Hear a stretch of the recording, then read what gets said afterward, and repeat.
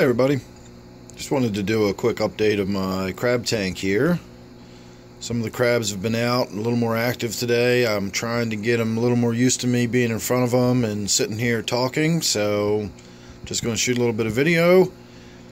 I had two more crabs in here this morning that were dead when I turned the light on.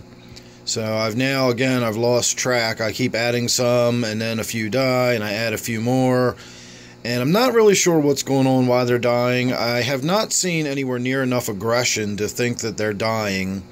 I did have someone suggest that it was the temperature in the tank was too low since this is an unheated tank and they are tropical crabs.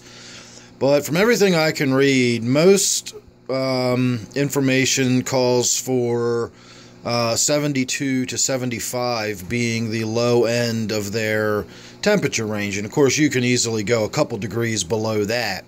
And when I come down here in the morning, uh, the tank does cool down overnight, but it only cools down to about 70 degrees. It was 70.1 this morning when I turned the light on, and right now I would guess it's uh, mid afternoon, so it's probably up to about 72 or 73 degrees.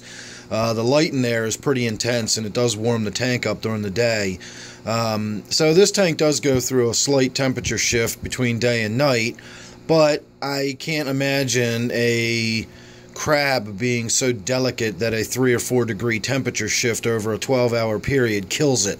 Um, that's kind of silly to think that.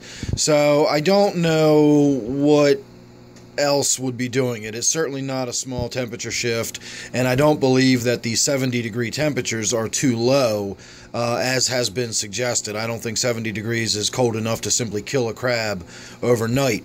If it was long term and maybe they were 65 to 70 degrees all the time, it might do something to their metabolism or their immune system might be suppressed, uh, something like that. But I'm not going to get a sudden overnight death by a simple um, low temperature of 70 degrees.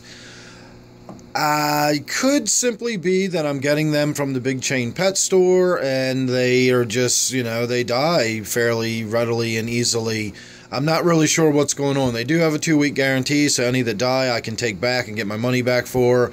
So, what I will probably do is continue adding a few. If a couple die, I'll add a few more until I get a population in there that is visible and active. And I'm getting really close. When I come in here now, uh, sometimes my movement into the room will cause everybody to sort of scatter. I've been sitting back hoping that somebody would move a little bit. We've got this one right up front here that kind of lives underneath this rock, so we see that one there a lot. And then we've also got one that lives over in this sort of darkened corner. We can see a couple of those uh, ghost shrimp over there. I've still got four of them alive and well in this tank. Uh, there's two of them right there. The other thing I'm working on in this tank is I'm trying to get the creeping Jenny to grow out and across the water a little bit. You can see a few of these uh, strands in there are extended outward a little bit. This one that's down in the water was actually moving around as we began this video. I don't know if it came out on video. That was the main reason I didn't want to get in there and make too much activity. There was a crab in there that was actually up in these rocks and chewing on it or doing whatever they do, snipping at it and tearing pieces of it off and eating it. They do really uh, like eating that creeping Jenny. So that one's going to be down in the water, and I guess we can uh, start working on pushing some of the rest of those down too, since the crabs have already been scared away. So this is all I do to get them to settle down, and that really is just sort of pushing it over uh, if this was growing in my garden, you can sort of walk on this stuff as long as you're gentle about it, and it'll just spring back up. It's some pretty tough, durable stuff. So me simply mushing it down like this is not going to hurt it at all. So what we'll get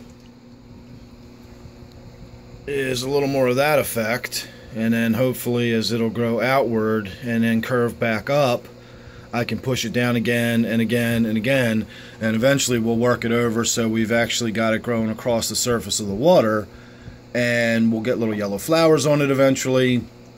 Hopefully, I don't know if I can actually get it to flower uh, in this environment, but we should be able to. I don't see why I wouldn't be able to. And it'll get covered in pretty little yellow flowers, and that'll be uh, pretty neat looking.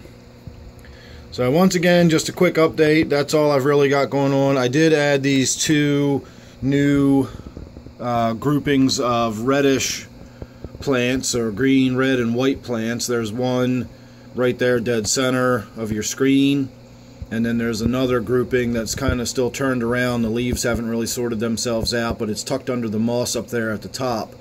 So we'll have to wait and see how those do. I really hope they do well because it's a really, really pretty plant. And then my moss that I've planted all on top of the uh, filter there looks pretty good too. The moisture that's being um, exposed to down here on the bottom, both in that dark corner and over here where the waterfall is is allowing the moisture to, to sort of move up through the um, moss by the wick effect or capillary action and it's got that whole section nice and moist and then with this vigorous light in here we're doing really well as far as growth so I'm really happy with the way it's turning out so far for brackish water I was really uh, dubious as to whether or not these plants were going to do well in here or not because the only plants in there that I know do well in brackish water is the Java, the Anubias, and the Creeping Jenny. All those mosses in there and all those plants in the back are all just an experiment. So make sure you're subscribed, that way you won't miss how the experiment turns out. Uh, as I've said before, this tank will get changed up over time. We're just getting into the warmer weather, so we got lots of good stuff ahead. And if you're subscribed, you won't miss any of that. So thanks for watching this one. This is my red clawed crab tank. Hope you enjoyed it. I look forward to seeing you real soon in the next one.